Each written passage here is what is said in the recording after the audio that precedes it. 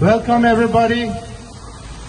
Thank you so much for coming and join our protest, peaceful protest for express our sadness and express our anger toward fascist, dictator, shameless Chinese government.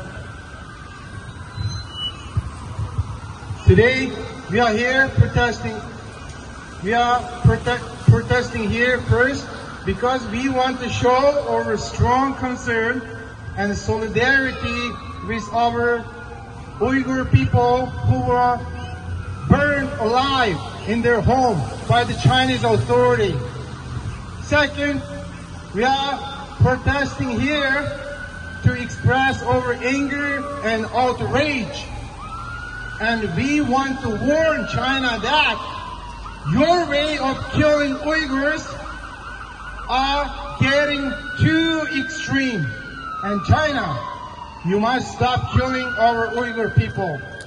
And sooner or later, you will be accountable for whatever you have done to our people.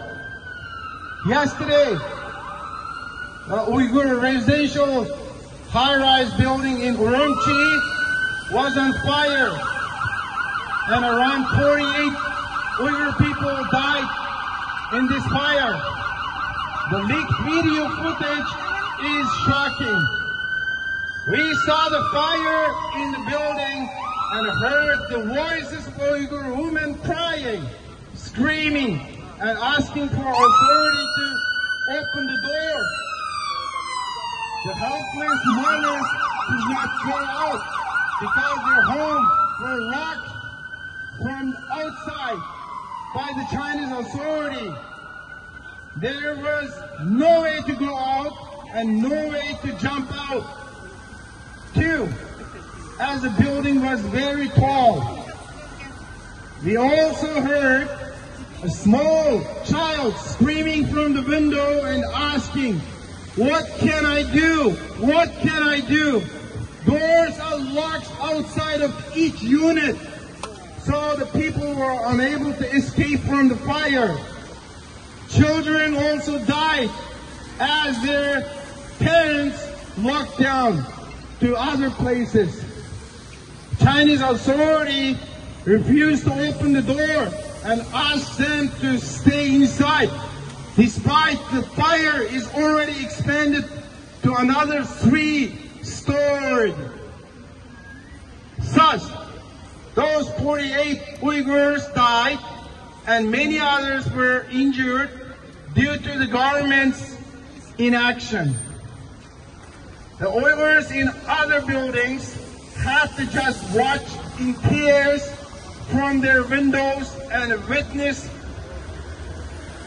their neighbors burning alive in the fire without being able to help as they cannot go out from their homes as well. China has been using of zero COVID policy as an excuse, looking down Uyghurs in their home and some other facilities for more than 100 days, preventing people from going out or having access to the food or medical supplies. Many Uyghur people starved to death. The Chinese government simply took away the dead bodies from their home and burned without allowing family members to do their funerals. From this reality, we can see this fire in Urumqi is not an accident. This is just the most speeded way of Uyghur genocide.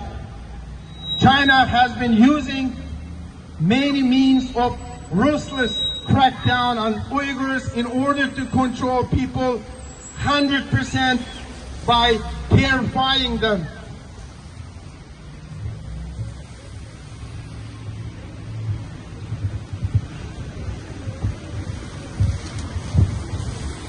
China did not show mercy to Uyghurs who have been obeying their law, even unreasonably banned and orders and stayed at their home without going out from their doors for more than 100 days.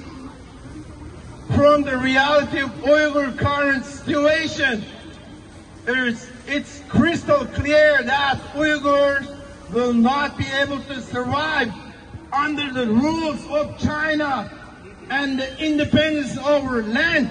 East Turkestan is the only choice for survival. China never think